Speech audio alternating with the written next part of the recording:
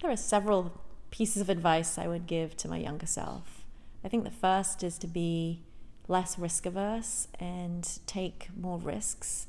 I think it, I didn't take as many risks as I wish I had early on in my career, but partly it was from the teachings of my parents who were very focused on me getting a secure job and never taking debt and you know pursuing the sure and steady path versus the off the beaten path risky path and I've ended up taking risks later on in my career, but I almost wish I'd taken risks earlier, professional risks.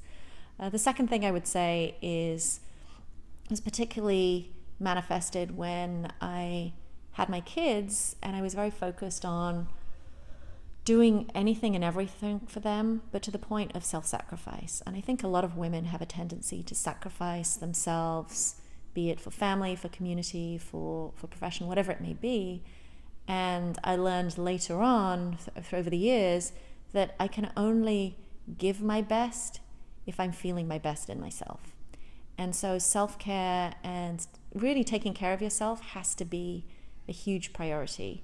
And to the points I made earlier around making sure that I sleep well, that I eat well, that I have me time, that I'm exercising, I used to sacrifice a lot of those things and it would just throw me off kilter and it would show up in how I would be with my family. If I haven't slept well or if I'm bringing my stress home with me, then I'm not bringing my best self to my family and it can be very destructive. And so I've learned more recently to to really focus on self-care and not self-sacrifice excessively. And if I'm happy in myself and I'm happy as me, then I'm going to manifest as happy with those around me and then I can be a better mother and a better wife, a better employee, a better manager.